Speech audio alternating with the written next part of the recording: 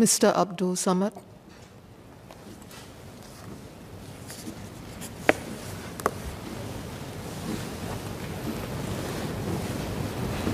Madam Chair, I welcome the launch of the Singapore Green Plan 2030. As we work towards building a sustainable Singapore, we can and must do more to promote individual and collective responsibility to care for the environment. Singaporeans should be equipped with sound knowledge and awareness of our environmental issues to inculcate in them a deep care for the environment and eventually champion and encourage their peers to adopt similar habits. It is commonly said that values are not only taught, but also caught.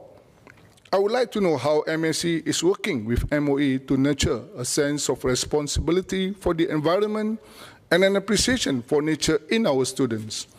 How can we ingrain in our students the mindset and attitude to always think about practicing sustainability? Efforts to inculcate the sustainability mindset should be ongoing.